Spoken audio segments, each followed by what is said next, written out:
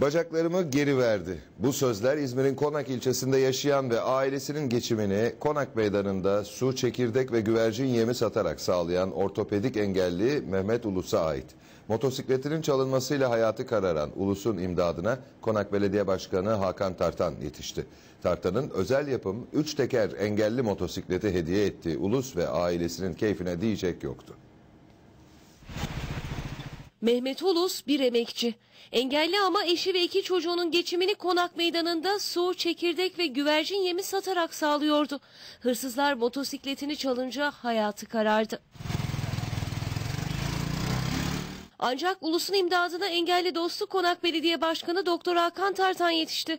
Konya'da özel olarak yaptırılan 3 teker engelli motosikleti bizzat Başkan Tartan tarafından teslim edildi.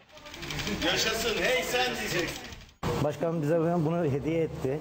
Ondan Allah razı olsun. Allah bin kere ondan yani her istediğini Cenab-ı Allah'tan istiyorum. Başka ne diyeyim yani çok mutluyum. Şu, anda sevinçli olduğumdan bir şey söyleyemiyorum.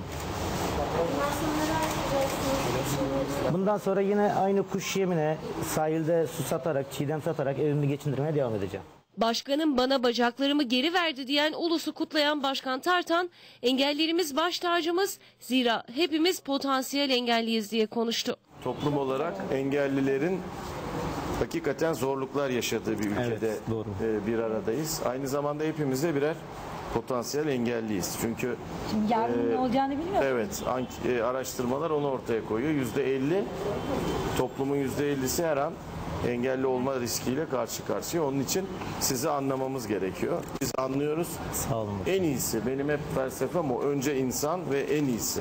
İnsanlarımıza en iyisini. Yoksa dört tekerli bir çeker de verebilirdik size ama Evet. biz aldığımız vergileri e, en iyi şekilde halkın yararına kullanmaya çalışıyoruz. Hayırlı uğurlu olsun. Allah yolunuzu açık etsin. Sağ olun başkanım. Allah razı olsun. Başkan Tartan'dan motosikletini alan Mehmet Ulus sevinç içinde hem puar turu attı hem de yeni aracını denedi.